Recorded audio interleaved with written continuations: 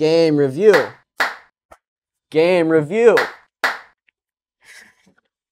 Hello, my name is Caleb Denby, and welcome back to Game Review. Uh, in today's episode, I wanted to actually go over an amateur game and see if we could learn anything from it. Uh, so this was a game that was played right here at the St. Louis Chess Club in one of our weekly tournaments in the weekly Knights. And this is a game between Kaleb Gosdin, who has a rating pretty similar to my own. He's making a push for the master title, and Vinee Party, a talented youngster who is part of our select chess program and is looking to, uh, I think, break into the 1800s, the 1900s, and, and beyond uh, in the near future. Uh, so that is to say, Vinee was the underdog in this match, but we'll see how both players approached this game. Uh, they started with d4, knight f6, c4, g6, knight c3, bishop g7, and after e4, black castles, white plays bishop e2, and black plays d6. So here we have a mainline King's Indian defense. And uh, I actually like this opening choice by, by Vinee here. Uh, the King's Indian, of course, is a very combative opening, a very imbalanced opening, and a very complicated opening. And against a higher rated player, I think that's exactly what you want to be doing. You want to make things complicated, uh, because if you choose a simpler position, the fact is, usually the higher rated player is just going to play it better than you. Whereas if you go for a super complex position where neither player knows exactly what's going on, the, the chance that one of you makes a misstep is, is a little bit more level. Uh, it gives both players the opportunity to mess up, and then it gives you the chance to capitalize on any mistakes if your opponent happens to slip up before you. Uh, with that in mind, the game continued, bishop g5, not quite the main line now. Vinee develops his knight to d7, and white plays this move h4. And this is by no means the main move here. It's a bit of a sideline. And uh, black, I think, responded rather quickly with the reflexive h5. This is not my favorite choice by, by black. Uh, as they say in the, the back country where I come from, uh, there's more than one way to skin a cat. And there's also more than one way to deal with this h4, h5 push. Uh, a lot of us seem to have this just natural reflex. Uh, in this case, we respond to h4 with h5. Sometimes we respond to a4 with a5. It just seems like the thing to do. Uh, but in fact, uh, this is not the best way to play here for black. White is kind of wasting his time by playing this move h4. And so, as always, you can counter an, an attack on the wings with an attack in the center. And that's what Vinee should have done. And the move c5 is pretty nice here, already claiming these dark squares, forcing white to make a decision. Generally, white plays d5 here. And you can imagine a6 to follow, with b5 coming soon. And I hear you asking at home, well, what about this h5 move? Was it a threat at all? And the answer is, kind of. While h5 is nice, trying to open up this file, we do still have a very nice response to keep the file closed in the move h6. White really isn't interested in actually capturing this knight, because after knight takes, and if you want to take on g6 to open the file, you've really actually opened up uh, black's rook and traded off a very important bishop for, for your attack. So after h6, this bishop would likely retreat, and we can manage to keep this file closed in this manner, playing h6 and g5. And this spends less time for black uh, than, than the other way around. And with this extra advantage in time, his plan on the queen side has been further advanced. All of this is to say, don't just believe your opponent's threats always. You know, you want to take every opportunity you can to play quickly, to play uh, important moves, whereas if your opponent is playing moves that are somewhat irrelevant, you can ignore them and continue with the more important central ideas. Instead, though, we see h5 from Vinee, a natural reflexive response. f3 from white is pretty nice. It controls the e4 square, also might hint at some g4 pushes in the future. Knight h7 is Vinee's choice, getting rid of this annoying bishop. Bishop e3. And now Vinee continues with e5, which is one of the two main breaks in the center here.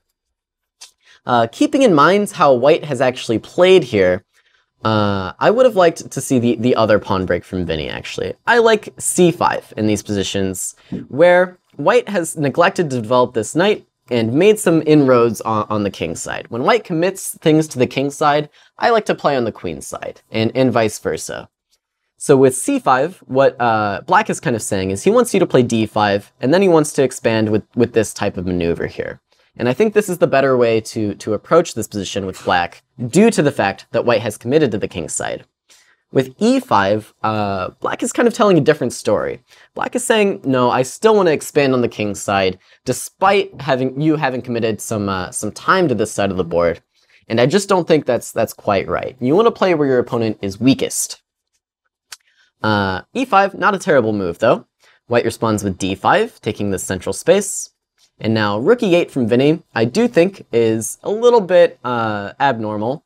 Uh, it does make some sense to support this pawn, and we'll see why at a, at a later date, but I think there were more active moves that could have been played, such as a move like knight c5, or even a5, to prepare for knight c5.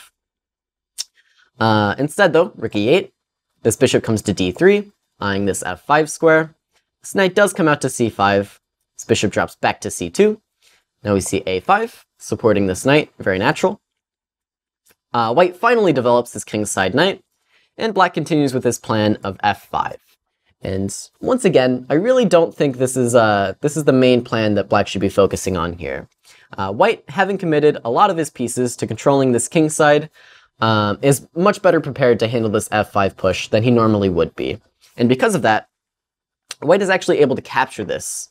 And after bishop takes, white goes in for a very forced line, bishop takes c5, and d takes c5.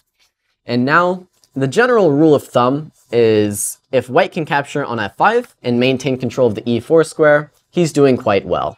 And that really rings true uh, in this case. Uh, he controls e4, and after knight e4, it's very clear that this bishop's going to be a little bit locked out of the game, and white's going to have a firm grip on the position. Uh, Vinee plays b6, Kaleb responds with knight 4 to g3, which is not actually my favorite move. And so if you at home want to take a guess to see how you think Black could get back into the game, this was, this was really his opportunity. And it might help to keep in mind the square that I just mentioned being extremely relevant to this position. Okay? Hopefully you found it. The idea for black is to do a very interesting pawn sacrifice, pawn to e4. Uh, this was Vinee's one and only opportunity, really, to get back into this game. Uh, like I said, this pawn being stuck on e5 is really a, shame for black. It blocks this bishop and it blocks this rook, and it really makes all of the black pieces just kind of cramped. They're, they're not doing much. They're not, they're not active. They're not attacking things. And so by moving this knight from its e4 outpost, it gives black this opportunity to push this pawn to e4. And while it is a sacrifice for the moment, you do pick up a pawn on b2, and let's say bishop e5, and something like queen d3, while the white knights are still going to be pretty active, and the white structure is actually favorable compared to black structure here on the queen side, this would have been a lot better way to, uh, to continue the game. This rook is very, very active, and the black pieces can find some purpose in life. Which really, that's all we want. Instead though, Vinee chooses bishop takes c2, and now after queen takes c2, this pawn is defended, and maybe black should still play e4, just as a uh, straight sacrifice this time, but it, it's much less good if you don't get this pawn on b2 in return. Instead, black plays queen f6, which is just leading to this very, very depressing position where you have this bishop that's stuck on the same color as all of these pawns for the rest of the game. Rook a d8 was black's choice, knight 2 to c3, queen f4, knight back to e2, takes, takes, knight f6, and now we get just a straight uh, endgame where this bishop is much, much worse than this knight. King d3. Uh, black tries b5. It would be a huge mistake to take this pawn, obviously, leaving d4 behind. And after knight c3, uh, Vinee missed another opportunity to get back into the game. Uh, as you've heard me saying, this structure is not good for black in tandem with this bishop. So what white, what black really wants to do here is mix up the structure, shake things loose, and create some more weaknesses on both sides so that his pieces can find activity.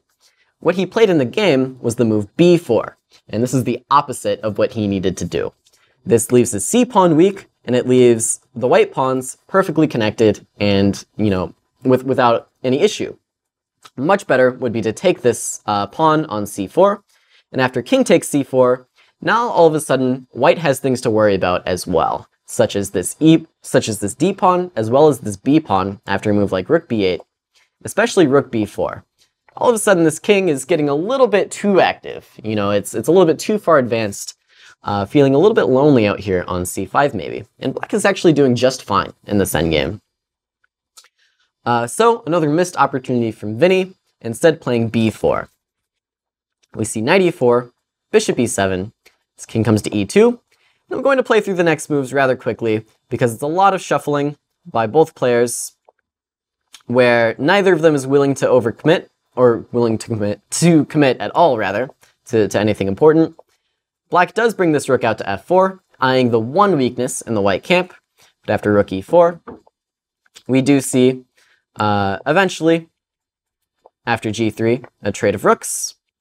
This king comes to e7, uh, knight g5, rook b8, and this is where the real shuffling begins. Uh, b3 from white keeps things locked down on the queen side. Rook f8, rook f1, rook d8, king d3, rook e8, king e4, king f6, knight h3, king g7, knight f2, king f6, king e3, king, rook e7, knight e4, king g7, king f2, rook e8, rook e1. A lot of shuffling this game, but we'll see eventually something does break loose. In the ends, rook e4, rook e7, more shuffling. This knight comes back to h3, the rook comes to f7, knight f2, rook f5, knight d3, rook f7, and black has hung a pawn. And this really spelled death for black. Of course, black could have maybe held on a bit longer with a move like king g8, and eventually, once both players got tired of shuffling, which might have never happened for all we know, White is going to break through with this move g4. This is the move that he had been avoiding playing in the hopes that what happened in the game would happen, meaning black losing a pawn uh, without him having to commit to anything.